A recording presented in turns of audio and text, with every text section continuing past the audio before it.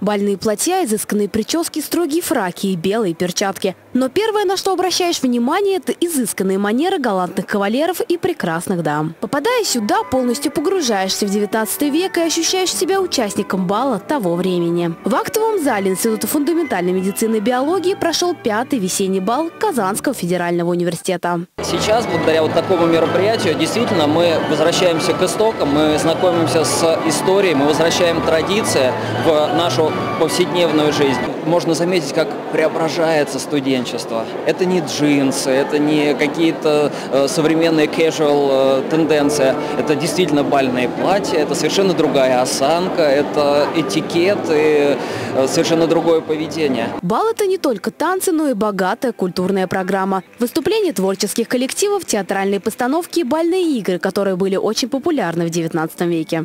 Решили сделать большую сюжетно-ролевую игру, где все участники могут почувствовать себя настоящими дворянами, принять на себя а, роль э, жителей середины 19 века Российской империи.